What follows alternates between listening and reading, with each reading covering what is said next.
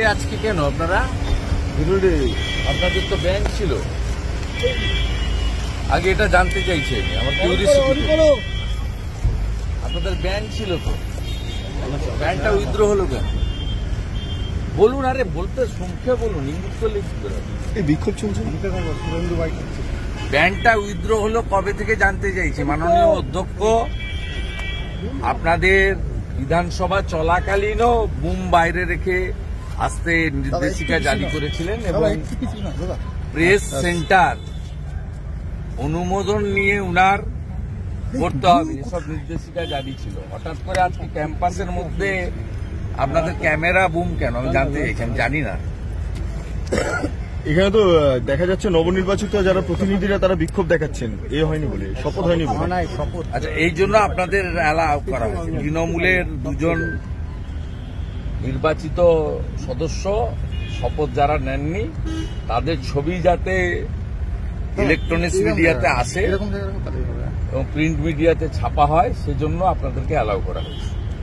তার মানে বিধানসভা সকলের জন্য নয় তৃণমূল কংগ্রেসের জন্য। For the TMC, by the TMC, of the TMC not for the constitution, not of the constitution not by the constitution এটাকে ধিক্কার জানাচ্ছি প্রথমত। দ্বিতীয়ত, মাননীয় অধ্যক্ষ তার আইন এবং ক্ষমতার বলে সব প্রথা ভেঙে তিনি রাজ্যপাল মহোদয়ের বক্তৃতা বাজেট অধিবেশনের প্রথম দিনে দিতে দেননি। এক যাত্রায় তো পৃথক ফল হয় না, পৃথিবীটা তো গোল। যেমন কর্ম করবেন, তেমন ফল পাবেন। এবং মহামান্য স্পিকারের কার্যকালের মধ্যে সাংবিধানিক প্রধান মাননীয় গভর্নর তার ক্ষমতার বলে রাজভবনে গিয়ে শপথ বাক্য পাঠ করানোর জন্য নির্দেশিকা বা অ্যাডভাইসারি দিয়েছেন। স্পিকার মহোদয় তার ক্ষমতার বলে যেমন এবারের বাজেট অধিবেশনে রাজ্যপাল মহোদয়কে প্রথম বক্তৃতা দেওয়ার সুযোগ দেননি। যেহেতু অধিবেশনকে তিনি স্থগিত করেছিলেন মানে অ্যাডজন করেছিলেন। ঠিক একই ক্ষমতার বলে, সাংবিধানিক ক্ষমতার বলে রাজ্যপাল যা করেছেন, তার ক্ষমতা অনুযায়ী করেছেন। অধ্যক্ষ যদি ক্ষমতার বলে করে থাকেন, গভর্নরও তার ক্ষমতার বলে এটা করেছেন। আর রিগার্ডিং কোচবিহার, অমানবিক, বর্বর, যে মুখ্যমন্ত্রী রাজ্যের মেয়েকে ভোট দিন বলে একুশে ক্ষমতায় এসেছিল, তার আমলে মহিলারা অরক্ষিত এবং বিশেষ করে মুসলিম মহিলারা, এটা আজকে নয় দু হাজার সালে।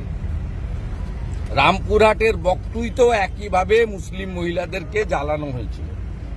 যে মুসলিমরা দু হাজার একুশ সালে একানব্বই পার্সেন্ট আর এবারে পঁচানব্বই পার্সেন্ট ভোট তৃণমূলকে দিয়ে ক্ষমতায় এনেছেন, তাদেরই কারোর বোন, কারোর দিদি, কারোর মা, কারোর মেয়ে। রোশনারাকে যেভাবে তৃণমূলের গুন্ডারা বর্বরচিতভাবে বিবস্ত্র করে করেছেন, এটা সভ্য সমাজের লজ্জা। আন্তর্জাতিক স্তরেও সোশ্যাল মিডিয়াতে ঝড় উঠেছে। এবং আপনারা শুনলে অবাক হয়ে যাবেন, প্রথম অভিযোগ ঘোকসাডাঙ্গা থানা নেয়নি। পরে এসপির হস্তক্ষেপে নিয়েছে এবং ঘোকসাডাঙ্গা থানার আইসিকে সরানো হয়েছে। চারজনকে কালকে গ্রেপ্তার করেছিলেন, তার মধ্যে দুজনকে সকালবেলা ছেড়ে দিয়েছেন। আর বাকি যে দুজনকে ধরেছেন, তার মধ্যে একজনের নাম এফআইআর নেই, তিনি রোশনারার ক্লোজ রিলেটিভ। আমরা ইতিমধ্যে as a leader of opposition জাতীয় মহিলা কমিশন, জাতীয় মাইনরিটি কমিশন এবং ন্যাশনাল হিউম্যান রাইটস কমিশনকে। আমি এক্ষুনি সই করব যে খানিক্ষণের মধ্যেই মেল করে টিম পাঠানোর জন্য অনুরোধ করব। একটু আগেই কোচবিহার জেলা বিজেপির সভাপতি মাননীয় বিধায়ক সুকুমার রায়ের মোবাইল থেকে আমার সঙ্গে বোনের কথা হয়েছে। তার পাশে আমরা সবাই আছি।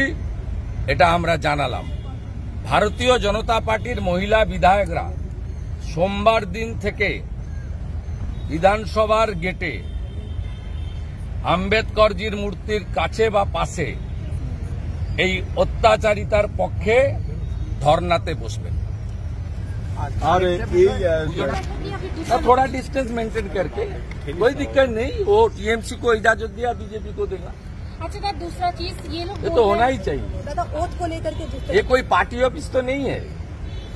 ये तो कॉन्स्टिट्यूशन का टेंपल है। दादा राजभवन के लिए बोला जा रहा है कि सेफ़ नहीं है महिलाओं के लिए इसलिए शांति का वहाँ नहीं जाएँगी। और आज राजभवन से जो स्टेटमेंट आया मुँह तोड़ जवाब दिया। हम लोग गवर्नर को सपोर्ट करते हैं। एक घटिया बात central government should take appropriate action this type of unethical statement by the administrative chief of the state against the constitutional chief of the state hawkers के लिए जो बोला जा रहा है कि दूसरी वो खत्म। खत्म।